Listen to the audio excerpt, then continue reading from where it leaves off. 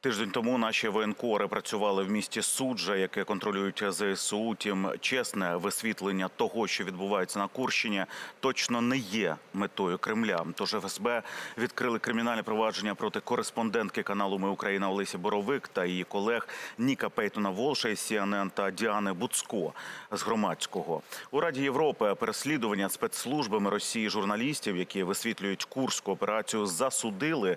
У CNN додають, що робота воєнкорів захищена Женевською конвенцією і міжнародним правом. Тож і зараз, незважаючи на заяви ФСБ, Олеся Боровик повернулася у суджу, аби розпитати місцевих про Бучу, Путіна і Зелений коридор. Репортаж далі. Це вже наша друга поїздка у Курську область. Минулого разу були там якраз е, тиждень тому. Е, На той момент залишалися в місті Суджа ще близько 150 людей. Двоє з них е, дітей там на той час було. Як же зараз змінилася ситуація через тиждень? Вам покажемо.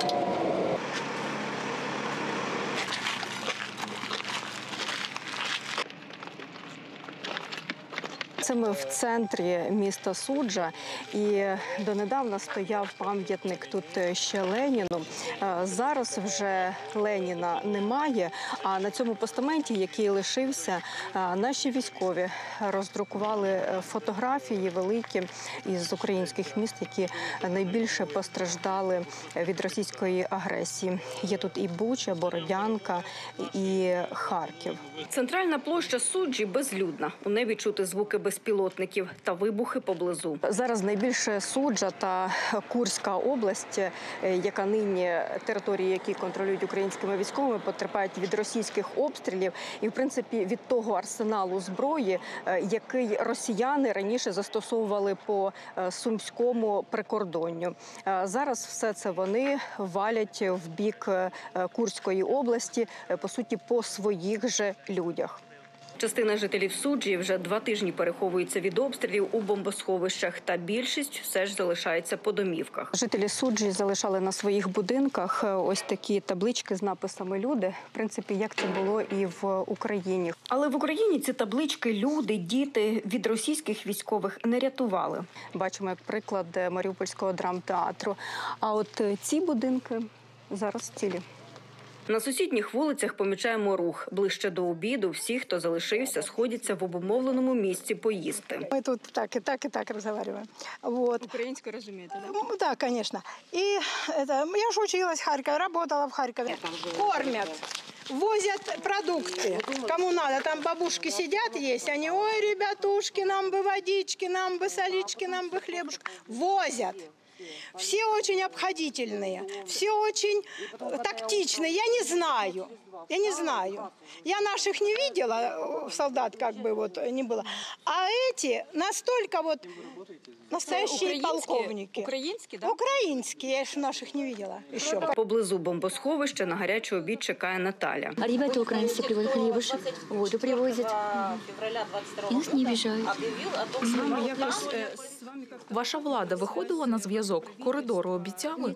Нет, ничего. Нас бросили. Вот они вроде, те, кто э, административно, они с- собрали своих людей, а мы, оставшиеся, у нас нет транспорта. Мы остались сами по себе.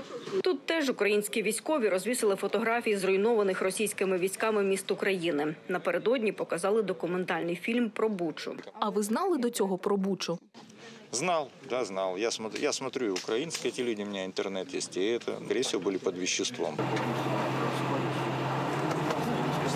Це одне із прикордонних сіл Курської області. На відміну від е, тих сіл, які ми бачили на прикордонні Сумщини, то тут і амбулаторії цілі, і школи, церкви, е, дитячі майданчики цілі, але також е, людей на вулицях немає, тому що постійно чуємо обстріли. І люди зараз ховаються у себе по домівках та по підвалах Сказали, что мы можем передвигаться. Мирных жителей никого трогать не будут. Можете жить, как жили. Єдине обмеження комендантська година з 17 до 10. Але на Володимира, як лікаря, це не поширюється, пояснили йому українські військові. Там комендант объяснил мне, что для меня комендантского часа не существует. То есть, если нужно будет оказать какую-то медицинскую помощь кому-то, я могу в любое время пойти и оказывать помощь.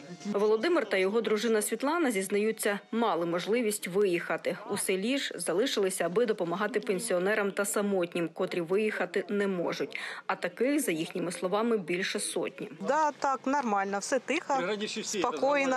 Пусть делает коридор. Мы же не можем на Украину поехать с русскими паспортами. Что нам там делать? Кто нас там ждет?